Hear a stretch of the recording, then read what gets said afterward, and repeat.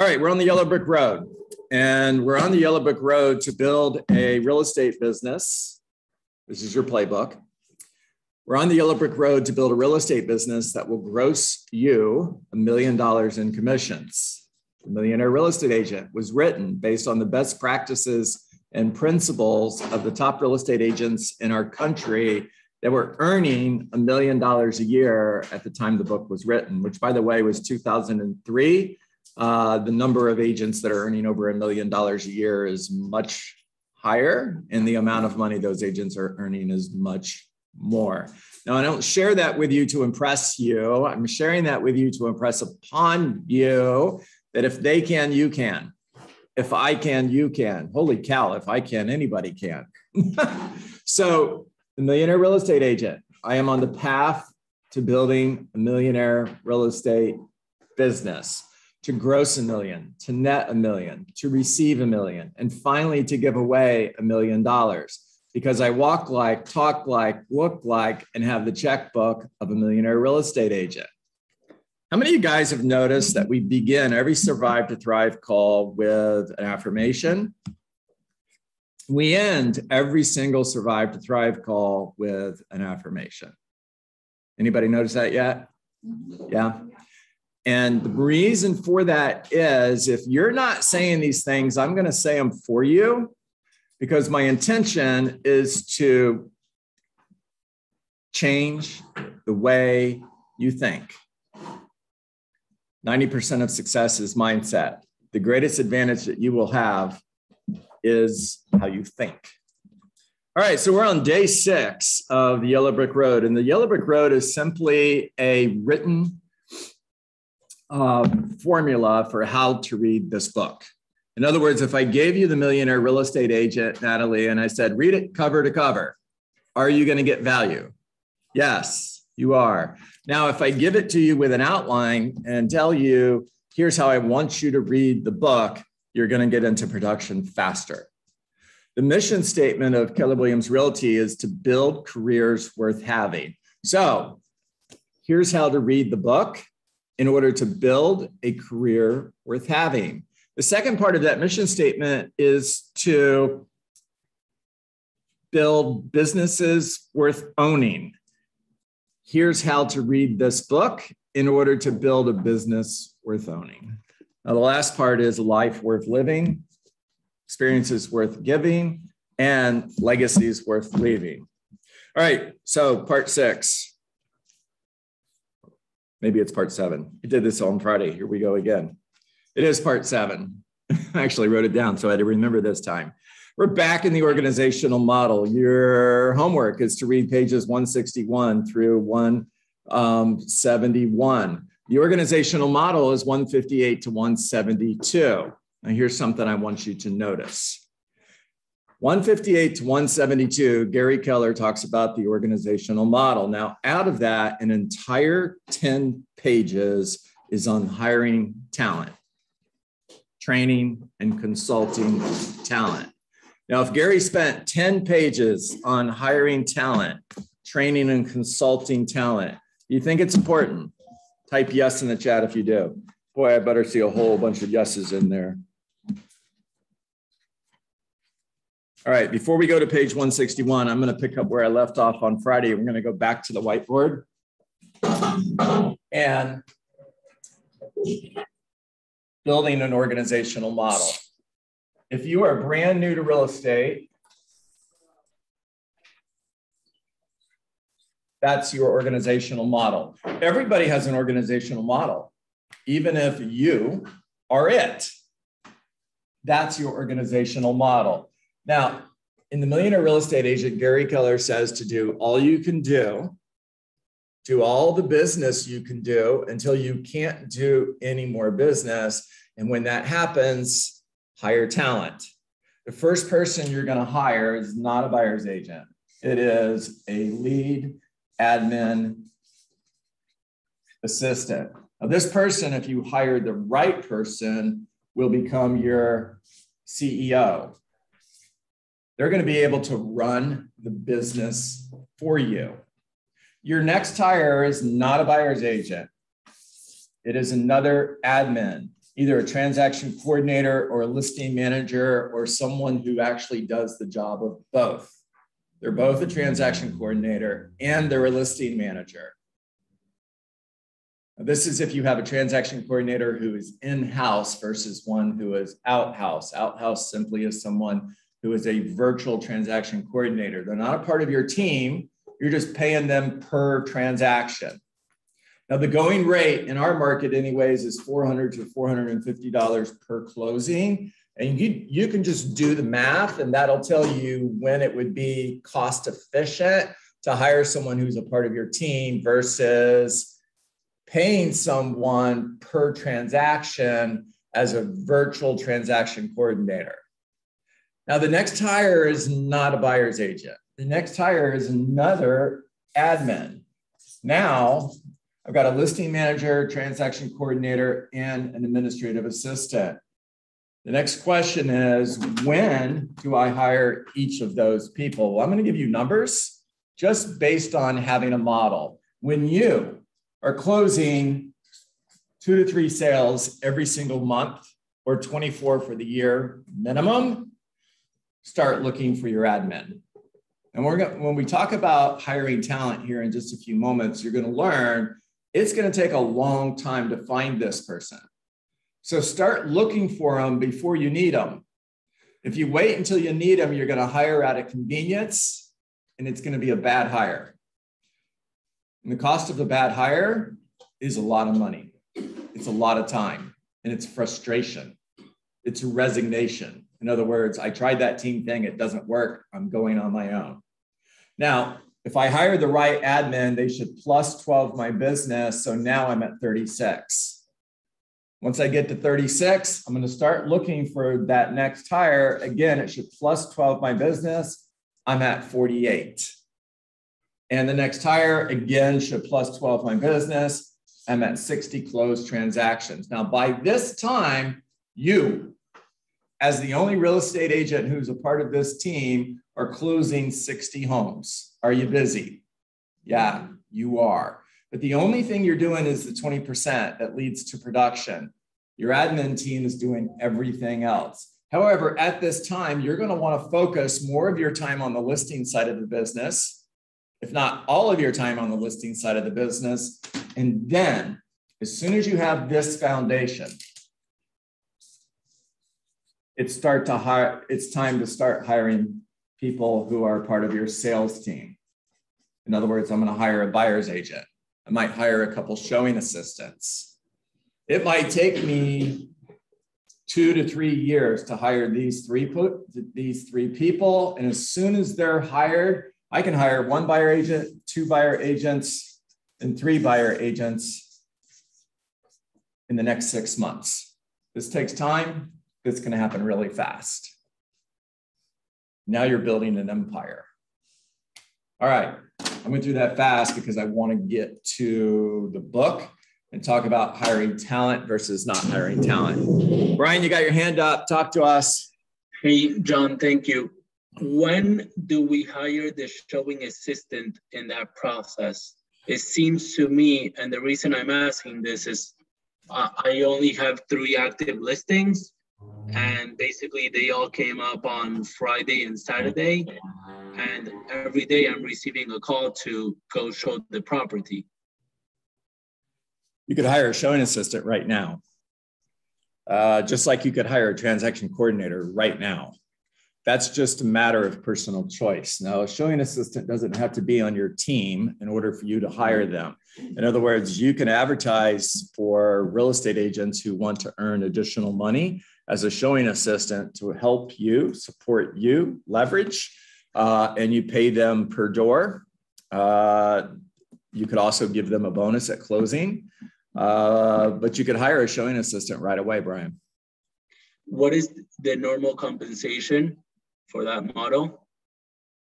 Look in your market center and see who has showing assistants. Look in the Fort Lauderdale Market Center, same thing. And ask around because it changes based on location. I'm going to say somewhere between seven and ten dollars a door or somewhere between 15 and 20 dollars an hour it, and it varies Thank you so much. So you could pay them per door, meaning if they have five properties to show and they show five properties and it's $7 a door, it's $35. Now it's cost effective, a lot more cost effective. Uh, cost effective is not right the right right word. It, it, it's more economically fair if it's per door if they're showing condos and they're all in the same building. However, it may be more fair if it's a dollar per hour fee if they're driving 10, 15 minutes between every single showing. That make sense? Say yes. And what is the fee at the end? The bonus? Up to you. I'd give them 5% of the gross commission, maybe 10%. Again, it's up to you. Thank you. Gonzalo, talk to us. Hey, John, can I add something about the please, please do. So the going rate in this area, if it's close to the agent's home, is between 25 and $30.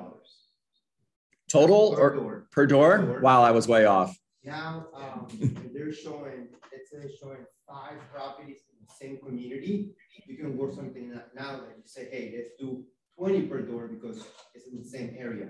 Yeah. And, um, and the bonus at the end, that's up to the agent. Yeah. So Gonzalo, what I'm hearing is it, it works out to about 20 to $25 an hour. Yes. Now, if the agent is in Coral Springs and I need someone to show in West Palm Beach, yeah, we put it up to 50. Okay. So if there's driving time involved, you can raise that showing fee all the way up to $50. Yes. Yeah.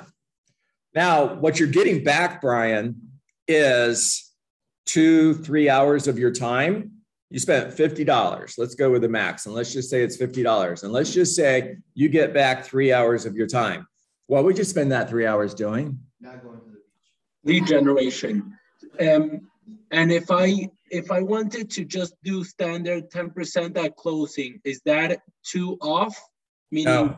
You need to give no, you, you need to give them money whether the property closes or not. That's why you have the per door fee. They need to get paid whether or not that property goes under contract and closes. That's why you have a per door fee. Now, the additional money is just a bonus based on closing. And the right answer to what are you doing with that time that you're getting back, you're buying back, is more lead generation. And if you're able to get another listing appointment, because you had an additional three hours of listing of, of, of lead generation and your average commission is $8,000, you spent $50 to make 8,000. Is that a good investment? Yes. Two people said yes. Awesome. the rest of them are like, hmm. kidding. All right, page 161, hire talent. Here's what Gary has to say. The fundamental principle guiding, guiding any hiring decision, thank you, Gonzalo, guiding any hiring decision you ever make is this always strive to hire talent. We say someone is talent when he or she is a superb match for the criteria you have established for a particular position. By this, we mean her natural abilities, skills, experience, and aspirations all line up around the job description and give them every reason to succeed at a very high level. This allows you to judge people against clear criteria against judging them as people. A candidate is therefore either a great fit or not a fit for the job rather than being a good or bad person if you don't have a process for hiring talent, how do you hire people? Um, if, you you, if you don't have a clear process for identifying talent based on a role, if you don't have a clear process for hiring talent, how do you hire people? The answer is really simple, guys. Emotions. I like you. Chemistry. Chemistry, good answer. Instinct, good answer. I know someone who knows someone who knows someone who's looking for a job. Oh, you'll do. Yeah. And if you hire the wrong person, not only are they going to not help you make more money, they're going to end up costing you a lot of money. The cost of a bad hire versus the return of a great hire. Now, if I'm at Keller Williams Realty, I am taking career visioning over and over and over and over again it is a class that is offered through Keller Williams University. You should master that class, just like you should master this book. I've been in masterminds with Gary Keller for 20 years. And for 20 years, I've heard Gary Keller say, take career visioning. Now, it wasn't always called career visioning, it was called something else before CV there. And I heard him say over and over and over again, take it 12 times. It's not a class you take and check off your list. You want to master lead generation. You want to master the conversations of real estate. You want to master your listing presentation.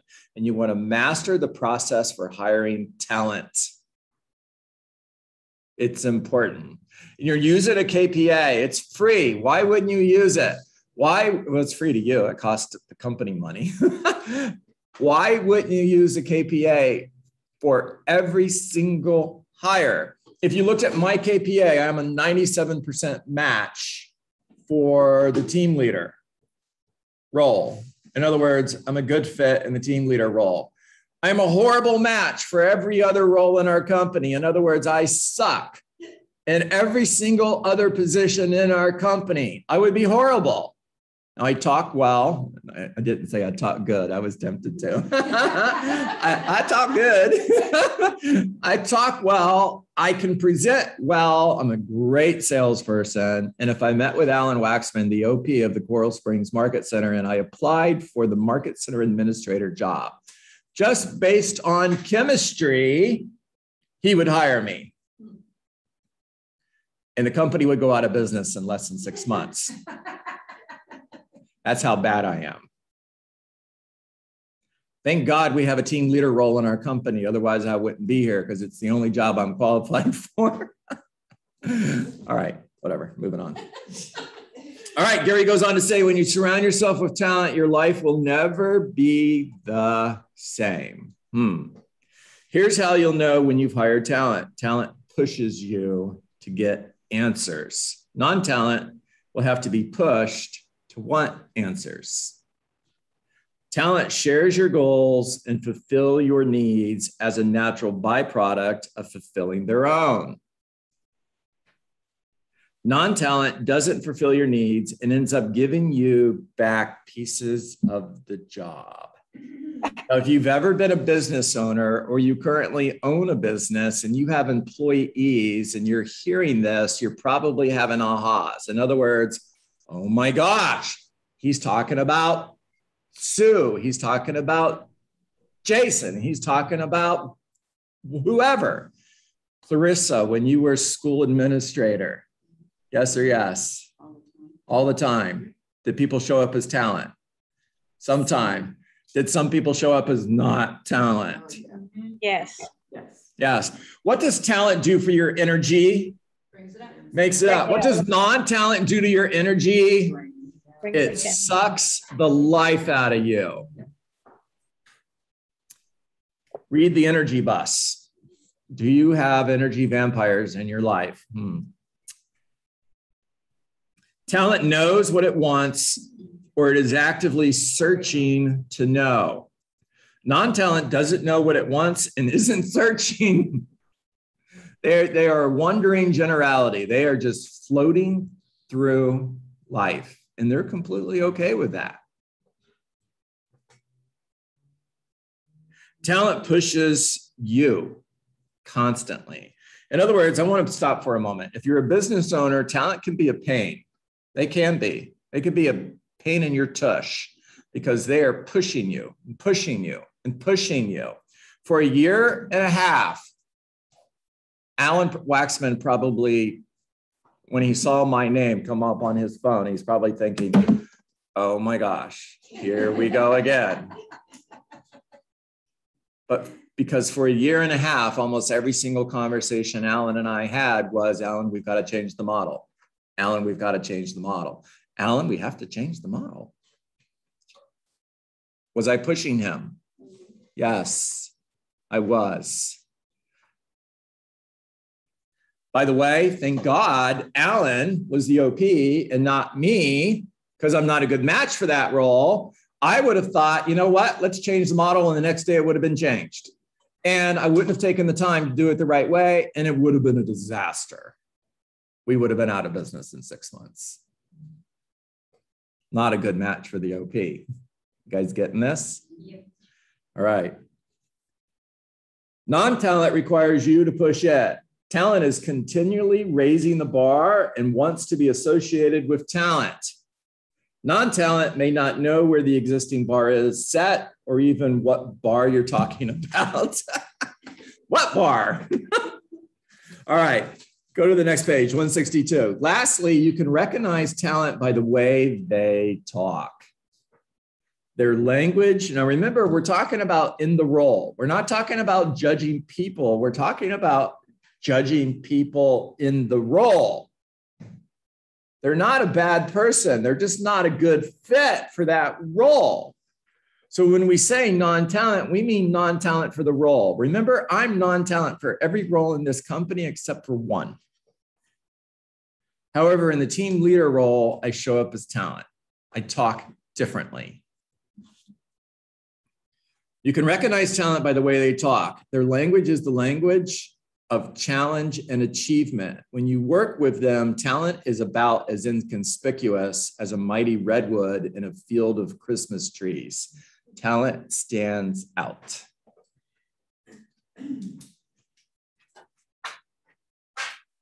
All right, I want you to go to page 163 and I want you to look at figure 21 and figure 22, the cost of a bad hire. So remember, if you hire based on chemistry, I like you, you like me. I like football, you like football. Let's work together. It'll be fun. Right. The cost of a bad hire, three to four months to interview and hire. Although you probably won't spend three to four months hiring based on chemistry, you might hire in a day. Three to four months to train and discover it is not working out three to four months to put on probation before terminating the relationship. Except if you're not following the model, you're probably not putting them on probation or even thinking about terminating the relationship because you believe you can fix them. And you can't.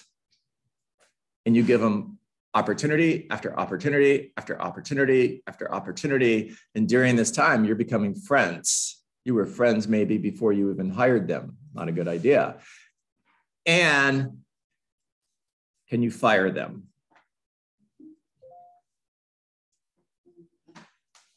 Hire slow, fire fast. When some, when when you when some when someone shows up as the wrong person for the role. Part ways quickly. Take your time and hire slow. I'm going to close with this. There is a part of the career visioning process that is checking references. This is so important. And this is the part that people skip or they shortcut it if you're going to check references correctly, you're going to call the three or four people they give you to call. But are they going to give you someone who's going to tell you something you don't want to hear? Of course not. They're only going to give you people who are going to tell you how amazing they are. When you're talking to the three or four people they give you as a reference, ask them who, do, who else do you know that I should talk to? And you're going to get the name and phone number of somebody that wasn't given you as a reference. When you talk to that person, ask, who else do you know that I should talk to? It's called going three deep.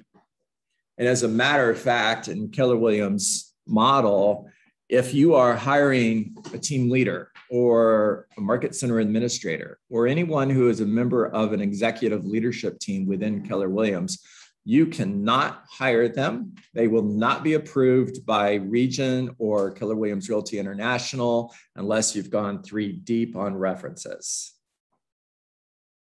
When Alan Waxman started interviewing me for the team leader role, the interview process was eight months It took eight months for him to interview me. Probably three months of that was checking references.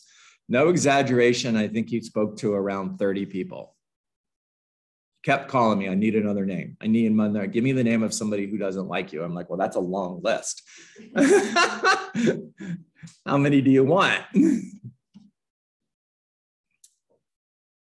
Then he had to defend the hire, which means he had, he had to go to the regional director, and the regional director had to put play black hat.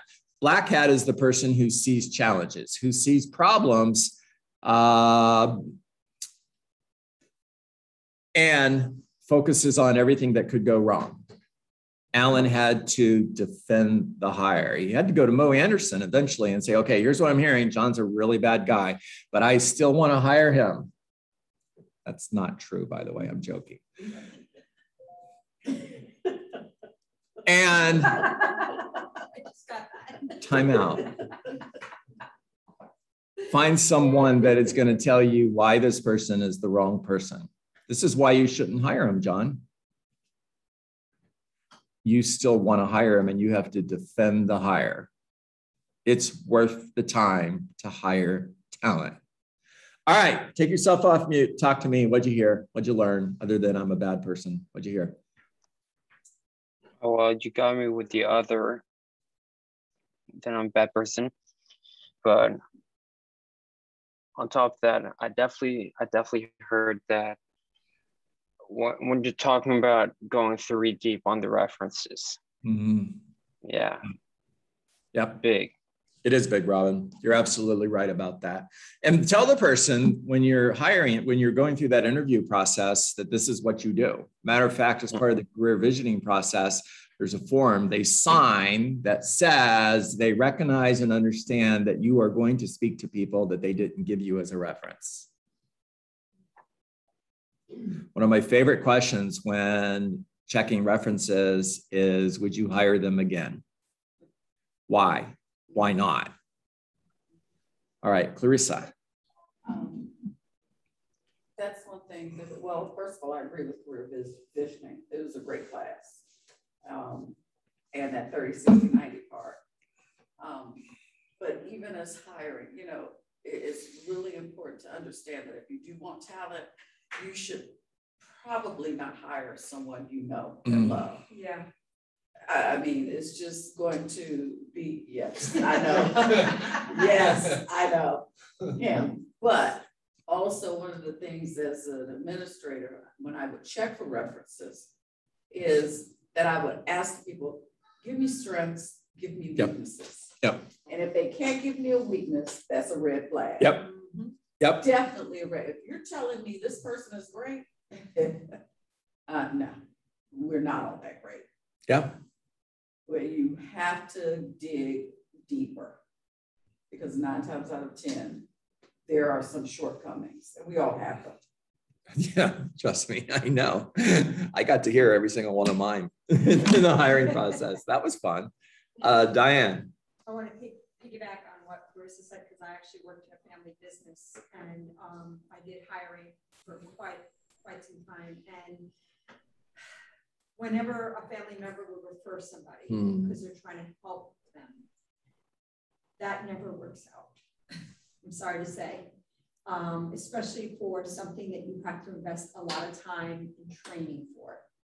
And the other thing I want to add in terms of hiring as well, um, another red flag that I have found is when they tell me when they're not available without me asking the question first. Mm.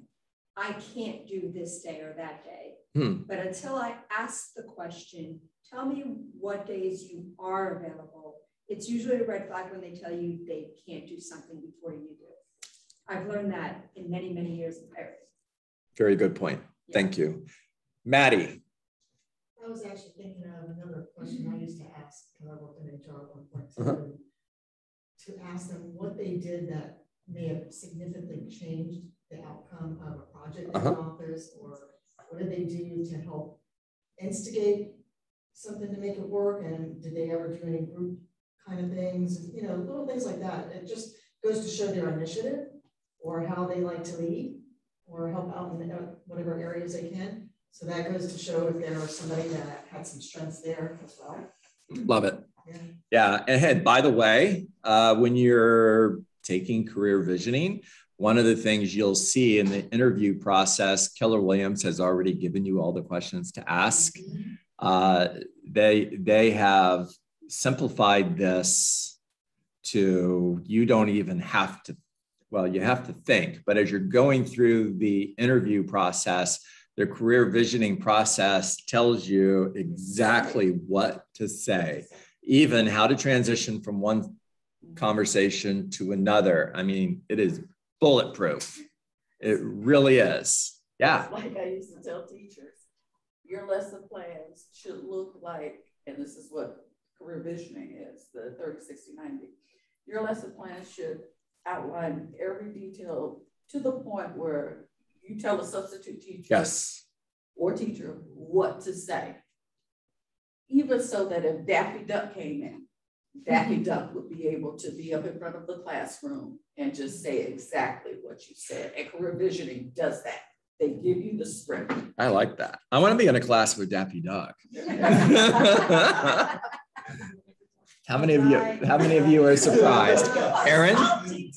Aaron i heard that. I heard that. I did.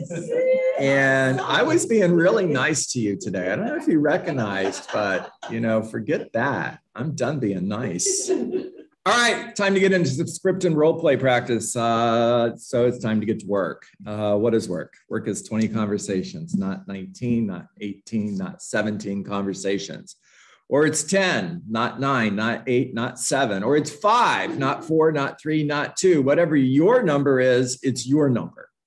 Or it's 40, not 39, not 38 or 37.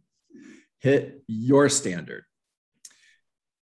Because when you have 17 conversations, not 18, because it's close enough, you didn't have the 18th conversation, which could have been a million dollar listing that you didn't get because you didn't have the conversation. And you're never going to know that you missed out on a million dollar opportunity because you didn't have the conversation. Have care call conversations or have care conversations, not sales conversations. Simply lead with gratitude. Thank you for taking my call. Bring value to every conversation.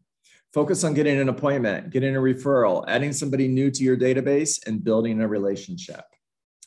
Find somebody today that is thinking of selling their home, whether it's 30 days from now, six months from now, or a year from now, doesn't matter. Because a year from now, you're going to need listings. You're looking for opportunity, period, not opportunity right now. And meet with somebody today and every day that is thinking of selling their home. Therefore, you will have 250 people in your pipeline to follow up with.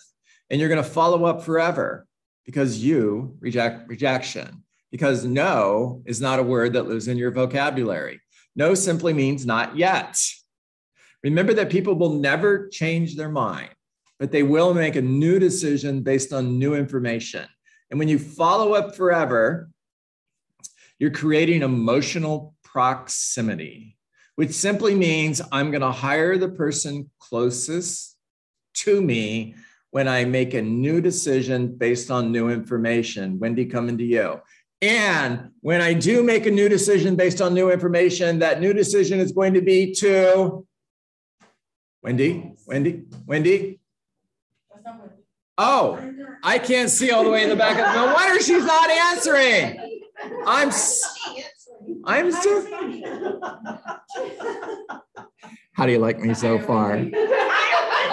How do you like me so far? On. Yeah, thank, thank you. What was the question? When I make a new decision, holy cow. When I make a new decision based, based on new information, that new decision is going to be to Hire me. Now. Oh my gosh. It's gonna. Oh.